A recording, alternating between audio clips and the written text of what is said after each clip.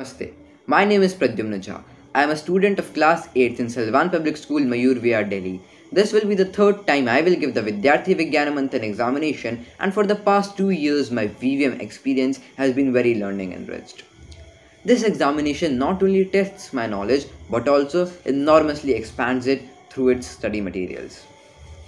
Last year, I was so happy to know that concepts such as Adhik Masa, Ayan Masa, Panchanga, Jyotish and all are not superstitious religious sayings but marvelous achievements of ancient India through accurate logics.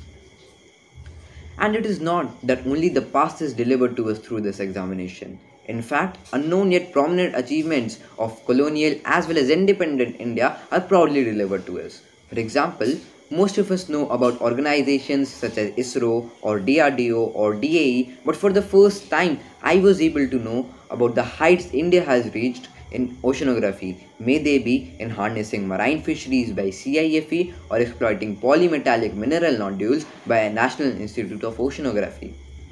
To be felicitated as a state level and zonal topper in such a prestigious examination is, of course, a grand feeling.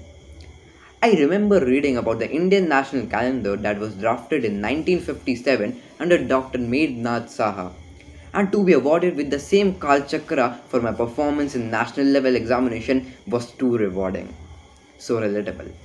And that is why I encourage and invite all my fellow mates all over the country to be a part of this Vidyarthi Vigyan Manthan examination, not only to be a winner, but also a proud pundit of our rich Sanskriti.